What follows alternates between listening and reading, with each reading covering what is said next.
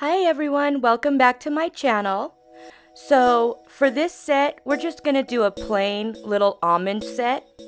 And I actually am doing a review. So I received this lamp. It's called Spaire.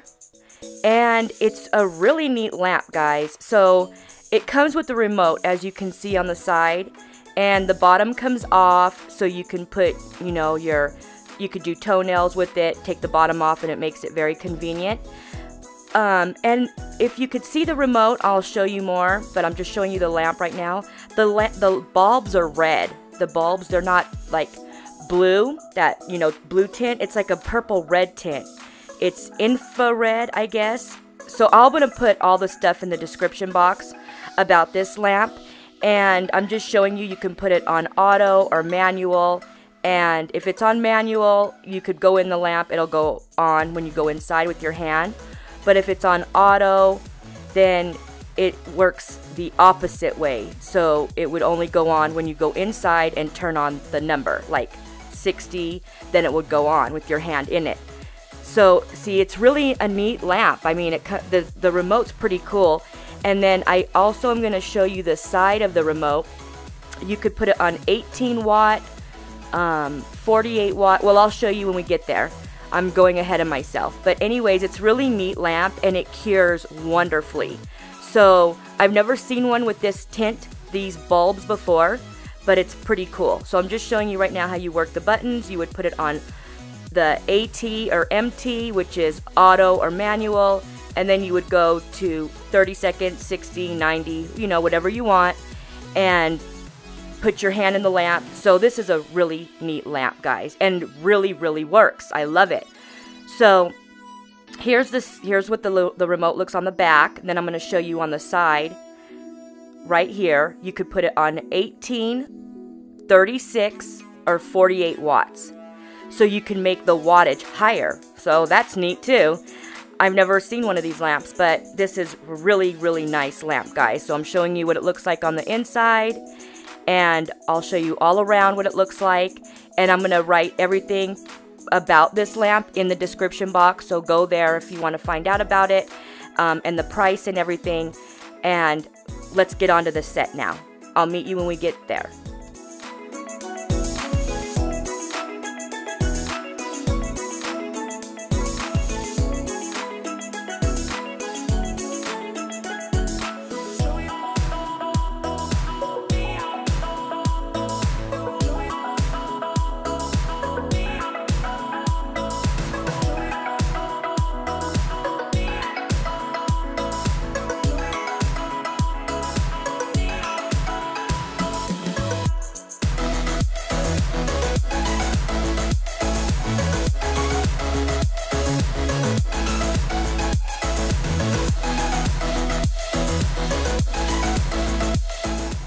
So I've already prepped the nails. I pushed back the cuticles, removed the shine, shaped up the free edge, cleaned under the nail, and cleaned it with alcohol. And now I'm using my protein bond, two coats of protein bond on each nail. So I'm going to use a mix that I made. It's just a glitter mix. And that's what I'm going to use on the whole set. This is the brush I'm going to use for this set. And it's from E Nail Couture. So I'm just using a clear bead, a very thin clear bead, just to put on my nails so the glitter mix isn't, you know, stuck when I, if I try to remove the, when, when I go to soak off, the glitter's not really stuck on there. And I push it out a little bit. I pull some of the acrylic out a little bit just to give me a little bit more strength when we put on this glitter mix.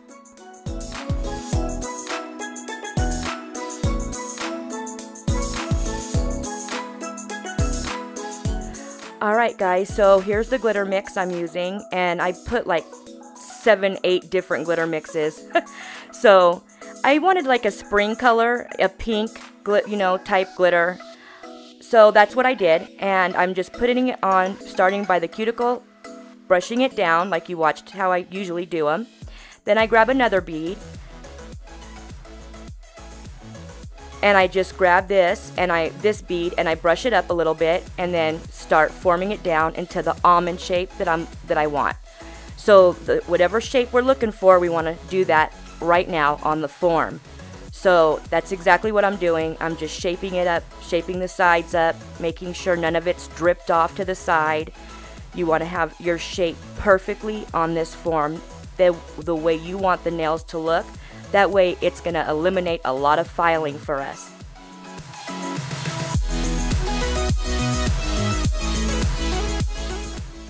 Alright, after I did the glitter mix, shaped it up the way I wanted, then I just went into my clear acrylic and capped it.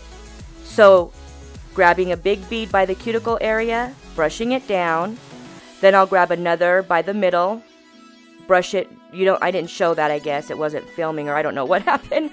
But then I grabbed another bead for the middle and then one at the bottom, brushing that up and making sure it all blends together. Then I will go in and pinch the nails. Alright, same process here guys. Two coats of Protein Bond on the nail. Then I'm going to go into the clear acrylic and make a thin layer of the clear acrylic on. I didn't, on this nail, I didn't pull it out all the way. I just put a little bit of clear acrylic. I wasn't even thinking, I'm just trying to film this for you guys really quick. So I didn't pull any of it, of the clear acrylic out like I did on the other nail. I just put a really thin layer on the natural nail so the glitter doesn't get stuck. So same process. I'm just grabbing my glitter mix from the cuticle to the free edge, shaping it up as I go along.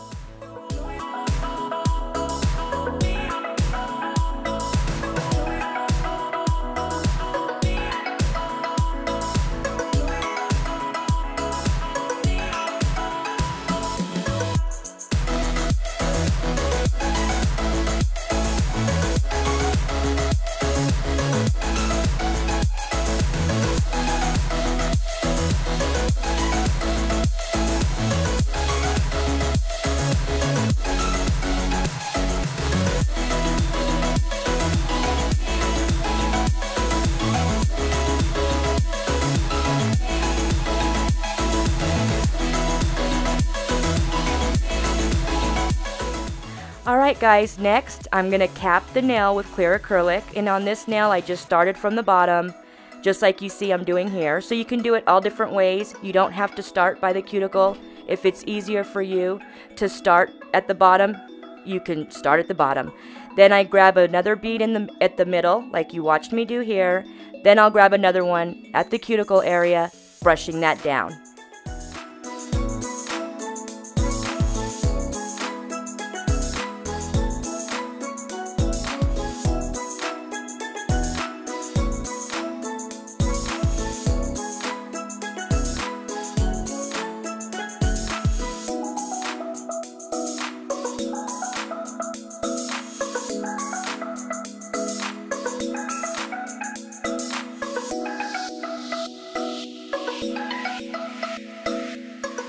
Alright guys, so our last two nails, I'm just doing the same process, same glitter mix.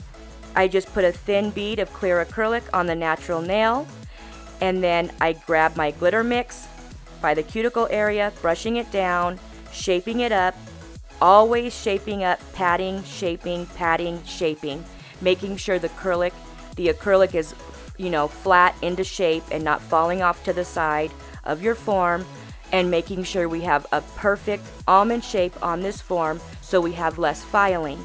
Then I'll cap the nails with clear acrylic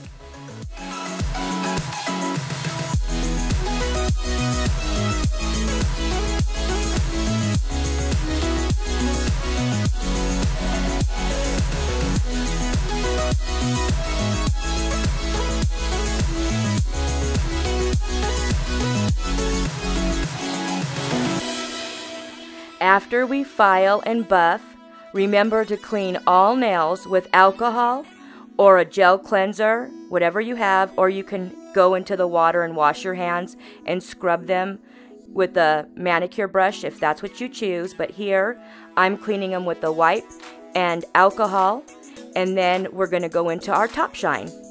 And the top shine I'm using is Akzentz um, the no wipe top shine. I really love this, guys. The shine lasts forever.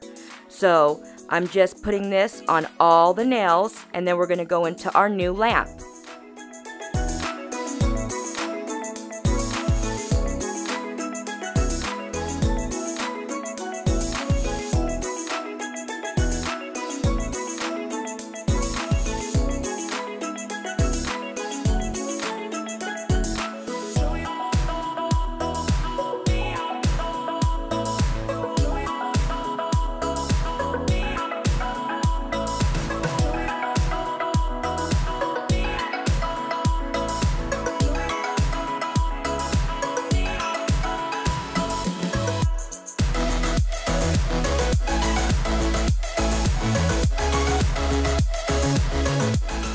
After all nails are done, you want to add your cuticle oil to replenish your cuticles after all that alcohol, all that stuff we were doing on our nails and it dried them out. So we want to put back the moisture inside of our cuticles. So here's our final result, you guys. Thank you so much for watching, and I love you guys.